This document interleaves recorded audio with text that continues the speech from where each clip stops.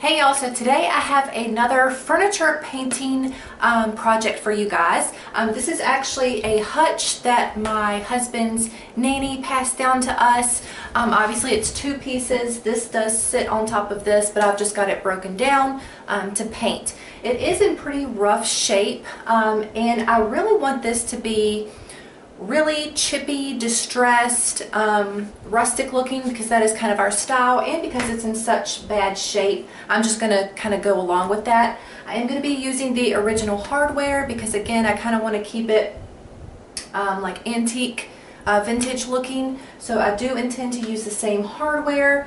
Um, now normally I would paint the inside of this but I just realized that this actually isn't uh, real wood. It's almost like a particle board inside here and it's just going to soak up the paint. So I'm not going to paint the inside of this. Obviously I will be painting um, all around it, all the shelves inside, underneath. This will be uh, fully painted. So the paint I'm going to be using today is, you already know, my all-time favorite is the Dixie Belle paint and this is in the color Fluff. So this is a chalk mineral paint this stuff is by far the best paint I've ever used. Um, I have a video linked down below, one of my very first videos. Um, I also have it up here for you guys, but I kind of go more in depth um, over this paint in the beginning because it was the first time using it. But this paint, it doesn't require any priming, sanding. All I've done is wiped this down to make sure it uh, doesn't have any dust or lint or anything like that on it. So you don't need to prime, you don't need to sand, you can go straight in Obviously I'm painting indoors, there's no fumes um, that you have to worry about. It dries super fast and two coats will give you full coverage. So pretty much all you need for this is your paint. Um, and a little bit goes a long way. Like this is overkill. This I actually got to do this and then two other dressers. Um, a paintbrush um, and a sanding block to go back in to do your distressing with. Um, and then obviously if you wanted to replace the knobs, you would need new knobs. I do go over how to do that in that video that I'll have linked for you guys. Um, so yeah, let's just get started. I think I'm going to start, I'm going to lay this piece down. You'll see me laying this piece down to get to it. Just, it'll be easier to get underneath. Um, so first things first, I'm going to take the knobs off and get to it. And I'll just speed everything up as usual for you guys. And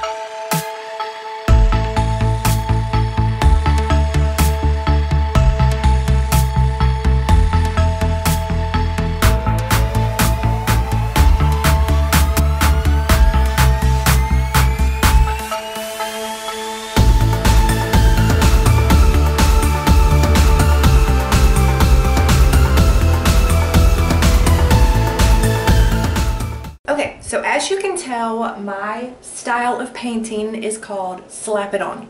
Um, I'm super messy. You know, our style is very farmhouse, vintage, um, chippy looking, um, if you want to call it that. So, especially with a piece of furniture that has this many defects, I just slap it on because I'm going to end up going in and distressing it anyways.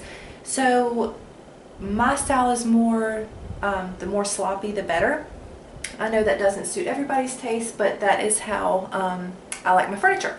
So I just slap it on. Um, this is one coat and it's already dry. So pretty much I'm going to circle back around and do a second coat. Um, and then we'll come back in and distress everything. And obviously you just kind of want to go in the direction of the wood. You know, I make sure that I don't have any paint clumped anywhere. But the benefit of this paint is you can be sloppy with it and just kind of go with it. Obviously, if this isn't your style, you want to do more smooth um, strokes and be more careful with it. But on to the second coat.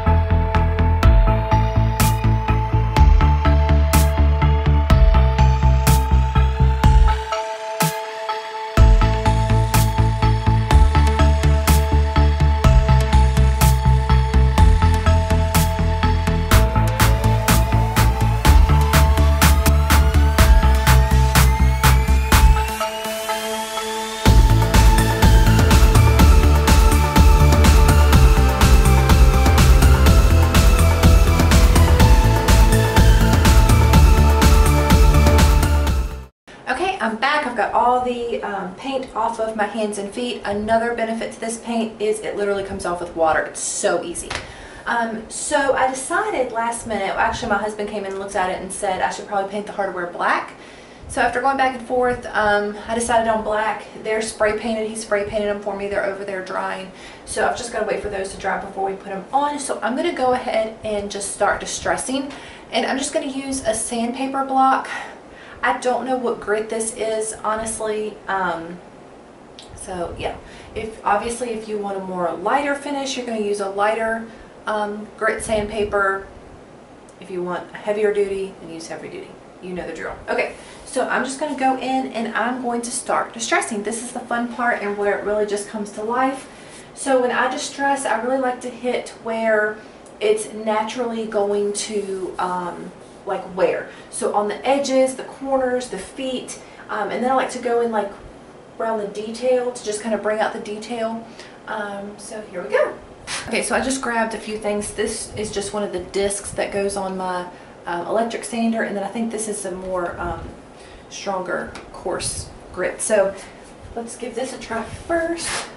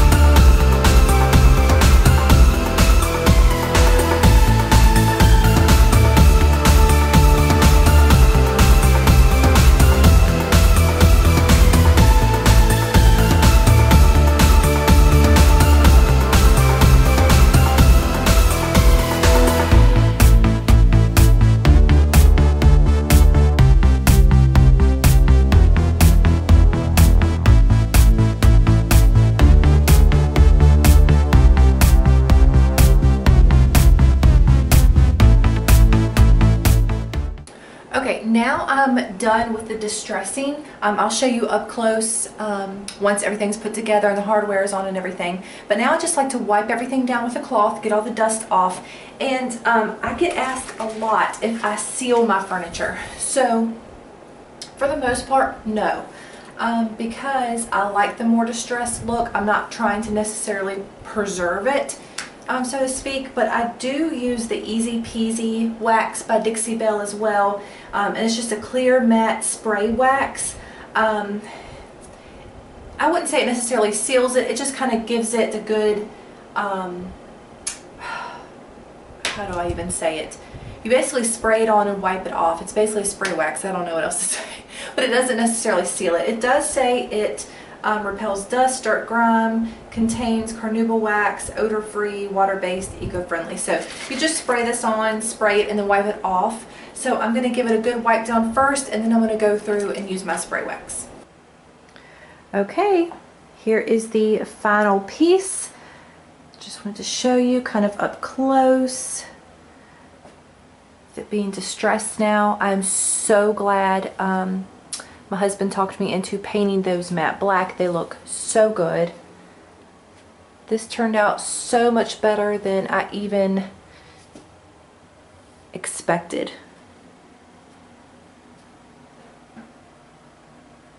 So that is it after. I cannot wait to get it moved into our new house. Alright guys, I hope you like this video. Make sure to subscribe, like this video, and comment if you have any questions. Bye guys.